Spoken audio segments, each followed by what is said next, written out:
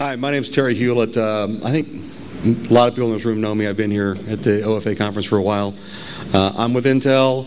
Uh, I want to start out by saying that uh, you know, Intel is clearly supportive of a lot of the things going on in InfiniBand and everything else. I am by job an Ethernet partisan. So if I if I uh, lean in that direction, I apologize up front, but that's, my job. uh, and Felix Marti uh, from Chelsio is uh, the other co-speaker for this this update. And before we get started, uh, Felix, uh, I'd like to congratulate you and Chelsio on getting uh, T4 out. Good job. Thank you very much. Another, another new iWarp part, and you know we're looking forward to competing with it in the market. Um, anyway, so that's all the product stuff we're going to do. We're not going to talk about anything about our products. We're going to give you. We're going to do this in about 15 minutes and get us 15 minutes ahead of schedule, and hopefully the rest of the speakers today can keep us on schedule, keep us that you know 15 minutes ahead, and uh, we'll wrap up early. Uh, to, so I'm going to start off by handing it immediately over to Felix. Sorry. So.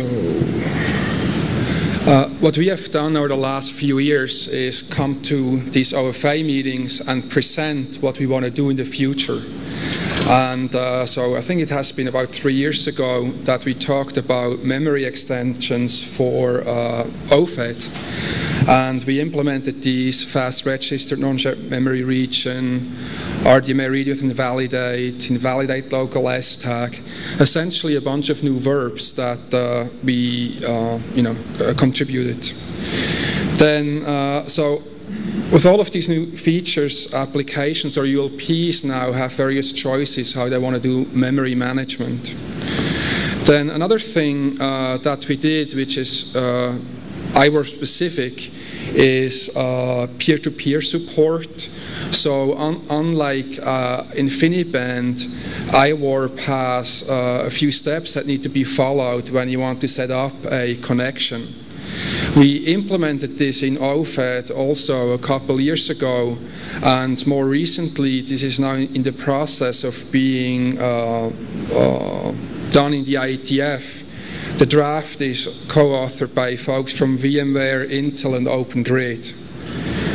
Now, last year I talked about potential uh, features that we would like to put into iWarp 2.0. Uh, and uh, the main idea, and this was touched on multiple times in this uh, conference, is that yes, OFED supports multiple RDMA transports, and they, most of these transports they have the same base set of verbs, but there are some small differences uh, in uh, semantics or some of the verbs are not supported on one RDMA transport versus another.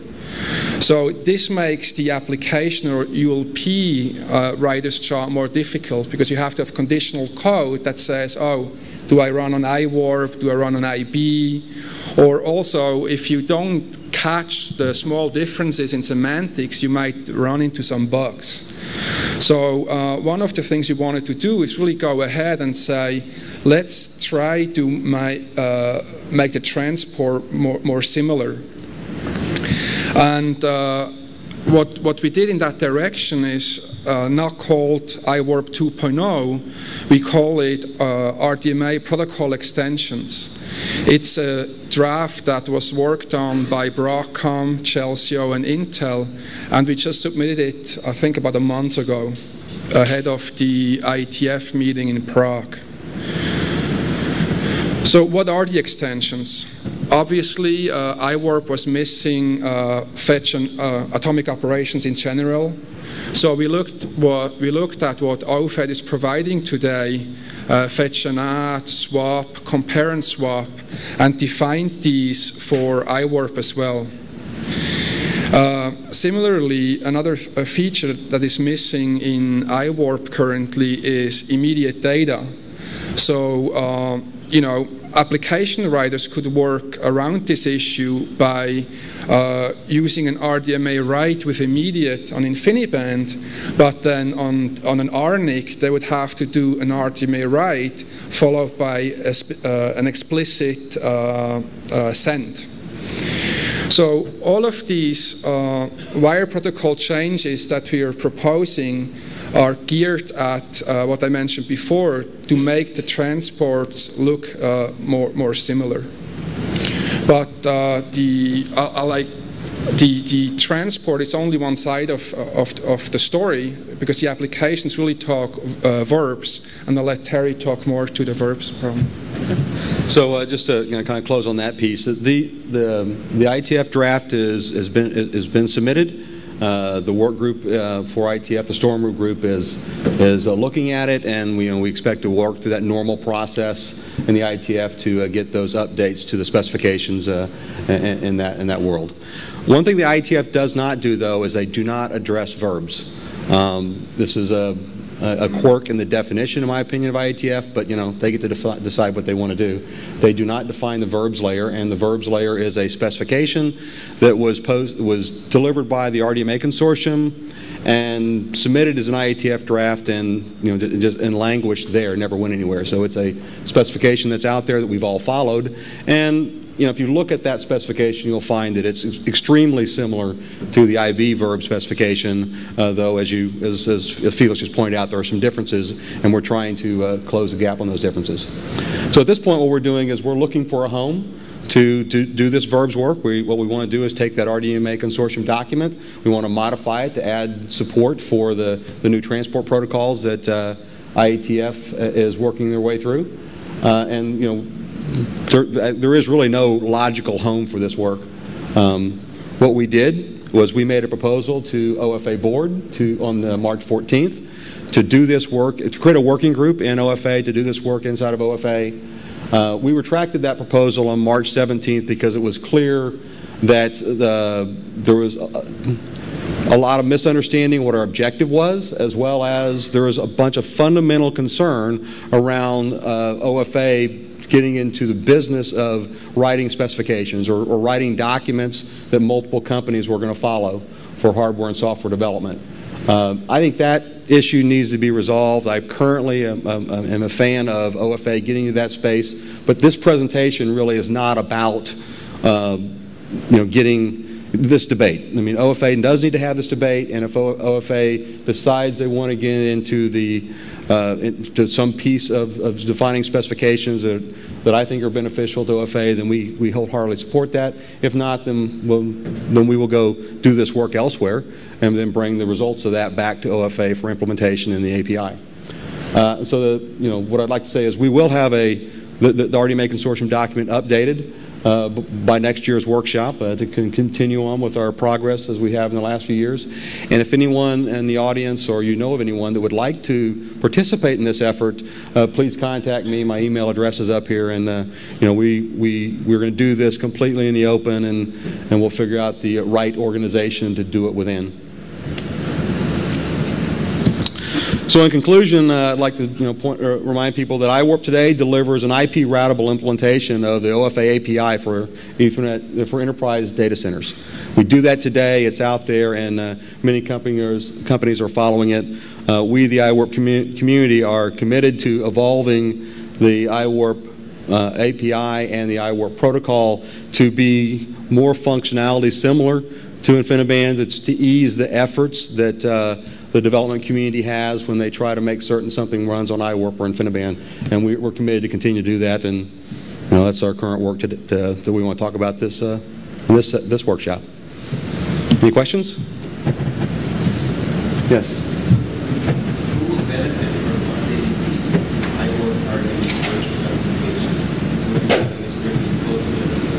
That's, it's hard, hard to hear you, sir.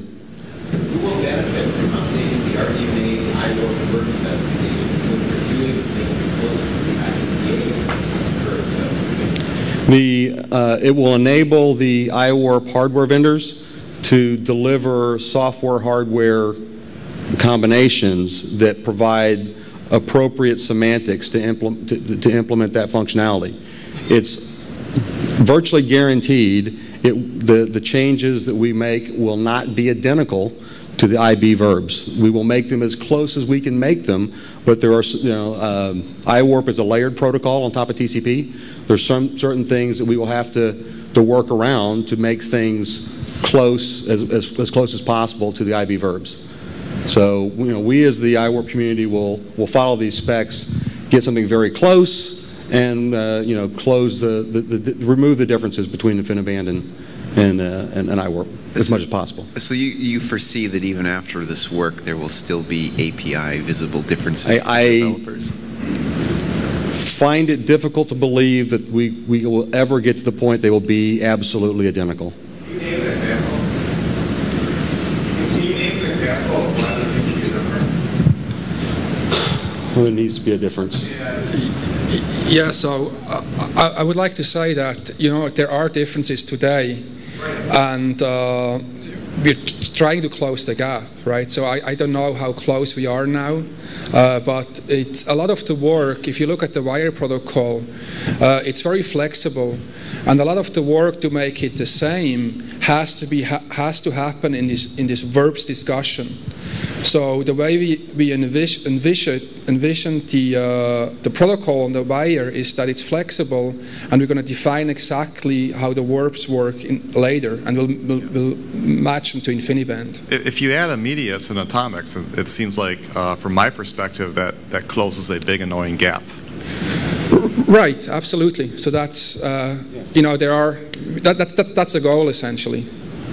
So I, I, I guess I, I, uh, I'm not understanding if, if you add immediates and you add atomics, where are the remaining differences? Well, for, for example, uh, there are differences in error handling. There are differences in the semantics of an RDMA write. So an RDMA write uh, in the iWarp world just means that the write has been submitted to the TCP stream.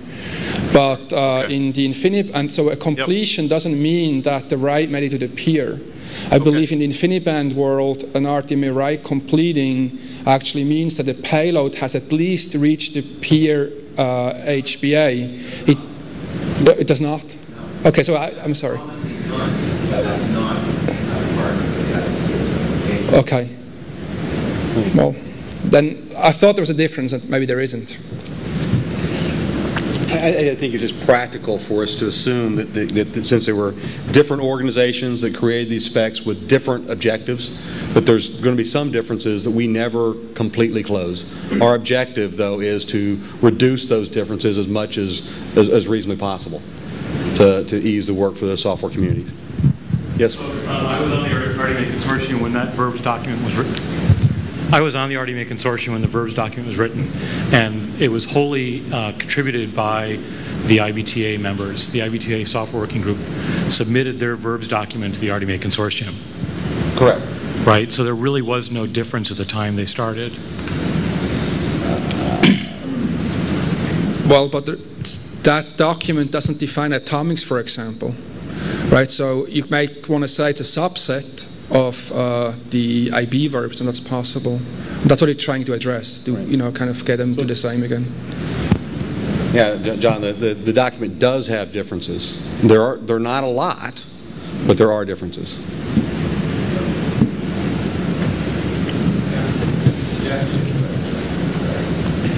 A suggestion is that it would be appropriate for Open Fabrics to publish a document identifying the differences in its implementation of the libIB verbs library when it runs on an iWarp device. This isn't a standard, it's just documenting what is going on in our libraries. I think it's a, it's a great suggestion. Um, and don't worry you know, about standardizing I mean, verbs. We, what we'd like to do there is document what is different between the APIs not necessarily what's different than the specifications or any kind of specification. I think it's a great suggestion. The software community would, would, would be able to use that. right. Well, that's my first question was who will who will benefit from revising your RDMA iWarp verbs? And I would say probably no one because no one will read it. They'll read the IB one or they'll read yours, but they won't understand what the differences are, which is the key piece of information you're trying to convey. I, I'm, I'm still. Uh, I'm sorry, I missed some of what you said. Yeah, yeah. It just doesn't seem to me that making another verb specification is going to benefit anyone. I think we said creating another. You don't see how creating another verb specification will benefit anyone, and I, you know, that's not our objective to create a different one, but it's to create, is to take the document that we all followed to implement, implement our current parts and expand it to be as close as we can get it to the IB verbs document. And that RDMA consortium document is released, it's out in the open today uh, because it was a released document from the RDMA consortium. And so we clearly will start with that document and make the minimum set of modifications to it possible to reduce the, the differences. Right. Let me add, go, go ahead. Have, have you found in the Open Fabrics community really knows the uh, verbs APIs as they are now that will participate with you? So we, we have, we have not, uh, we, we, you know, we, as you know, we proposed starting the working group, and then, the- you know, the work, that process got stopped, and so therefore we have, we, you know, we've not continued on that. We're trying to go figure out if OFA wants to be involved in, uh, developing this document. If the OFA would like to be, we certainly, the IWARP uh, community, are willing to do that work under a broad set of limitations uh, in, in, you know, in, in in the OFA, if, if that's what it takes. Um, But, you know, we, we, we need to, we need the OFA organization to decide they want to work with us. I'm sorry, I thought you were part of OFA. I, and our proposal was, you know, withdrawn because of the objections. Well, the, we, I think we shouldn't go over that ground again, right? The point, the point I'm trying to make to you, and I'm making it in how we handled when the RDMA consortium approached us in 2006, I think, Jim. We put together a group of people who really knew where OpenIB was, and a group of people who knew about the RDMA, and, and they worked together and brought RDMA over Ethernet into Open Fabrics. And what I'm suggesting is that for you to proceed, you will be better off if you find a member of OFA who's technically qualified and experienced in how the verbs work to be part of your work. So yeah, absolutely, we, we, you know, not only do we have those people in our own respective companies, right? Because we are currently delivering both of us in the OFA community. Uh, you know, we would like anyone else that wants to be involved to to get involved. You know, to contact us and get involved. We're we're oh, quite open to that, Bill. Okay, thank you. Yeah, just one last comment. The uh, the objective is to have a unified interface for all the RDMA transports in, in OFED. So yeah, it's really not about you know a new document, right? It's but there's a certain process that we all need to follow to get there. Yeah, I just wanted to make a comment since that um, the, there was some conversation that was referred to several times during this short presentation, um, and that not all the people here were uh, participants of that conversation where you brought this as a proposal and then uh, you withdrawn it. I think that uh, it's fair for every, everyone to know that there was a strong pushback, at least from a significant portion of the uh, OFA uh, promoters, to this idea. Uh, due to um, several concerns, and one of them, I think it was um, not by chance, naturally emerged on this uh, on this conversation during these last few minutes, in the sense that uh, OFA does not need a new verb specification. OFA is about implementing open source software stacks with an API that uh, follows uh, the semantics of um, at least one verb specification and could be modified to follow the semantics of uh, many other ideas as it, uh, as it did over the last um, several years. Uh, even uh, recently, uh, new semantics were added to the uh, OFA stacks, and there's nothing preventing the IWARP vendors from coming with new functionality that needs maybe specific extensions to the existing APIs. Uh, the proposal is to, or at least the way I interpreted it, because that's the way it was written, was to uh, make OFA the standardization body for the portion of the IWARP uh, specs that IETF doesn't want to take. Uh, and that is what uh, the pushback was about. Okay. Thank you for the commercial. Any questions?